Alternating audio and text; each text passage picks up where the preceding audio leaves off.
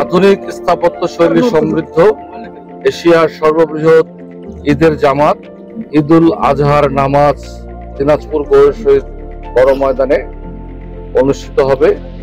এই জন্য আমরা জেলা প্রশাসনের সার্বিক তত্ত্বাবধানে এবং সহযোগিতায় আমরা সর্বাত্মক প্রস্তুতি গ্রহণ করেছি যাতে মুসল্লিরা সুষ্ঠুভাবে ঈদের জামাত আদায় করতে পারে। আর ঈদের দিন আমাদের যে কয়েক স্তর বিশিষ্ট নিরাপত্তা পরিকল্পনা আছে, সেখানে আমাদের প্রথমে থাকবে চেকপোস্ট থাকবে, আমাদের অ্যাক্সেস কন্ট্রোল থাকবে।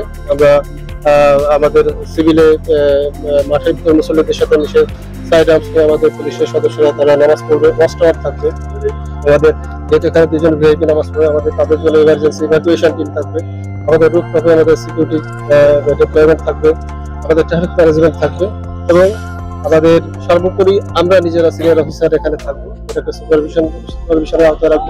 আমাদের সাব কন্ট্রোল রুম থাকবে, সেখানে আমাদের স্পেশাল স্ট্রাইকিং রিজার্ভ থাকবে। আমাদের ড্রোন সার্ভিলেন্স থাকবে। অর্থাৎ আমি বলতে চাচ্ছি যে এখানে আমরা এই নিরাপত্তা পরিকল্পনাটিকে সার্বিক একটি সমন্বিত রূপ দিয়েছি যেটা কয়েক স্তর বিশিষ্ট এবং বিভিন্ন কৌশলে এটা বিভক্ত এবং এই কৌশল সংযোজিত করা হয়েছে যাতে এই ঈদ জামাতটাকে আমরা এটা যেহেতু বৃহৎ একটা গ্যাদারিং এই গ্যাদারিং এর নিরাপত্তা পরিকল্পনাটা নিরাপত্তার বিষয়টাকে আমরা সব থেকে বেশি গুরুত্ব দিই। যারা নামাজ পড়তে আসবে তারা যাতে নিরাপদে ফিরে যেতে পারেন এই সার্বিক বিষয়টাকে মাথায় রেখে আমরা যে নিরাপত্তা পরিকল্পনা করেছি তার আলোকে আমরা আশা করছি আমরা এখানে একটি নিরাপদ নিরাপদ এবং উৎসব মুখের একটি জামাত দিনাজপুরবাসী সহ পার্শ্ববর্তী জেলা যারা এখানে নামাজ পড়তে আসবে তাদের এবারও এশিয়া মহাদেশের সর্ববৃহৎ ঈদগাহ জামাত বড় শহীদ বড় ময়দান। দিনাজপুর সহ পার্শ্ববর্তী জেলাগুলোর সকল মুসলিম উম্মার ধর্মপ্রাণ মুসলিমগণ এই এই ঈদগাহ জামাতে নামাজ পড়ার জন্য আমরা সকলেই অপেক্ষা করতেছি।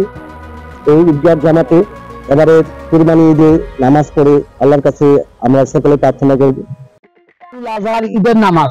আমরা এখানে সবাই মিলে আদায় করব এবং এইখানে যে সবচেয়ে বাংলাদেশের বড় ঈদের নামাজ অনুষ্ঠিত হয়, সেজন্য আমরা এইখানে গর্বিত। আমি সক- সকলের শুভকামনা এবং উপস্থিতি কামনা করি।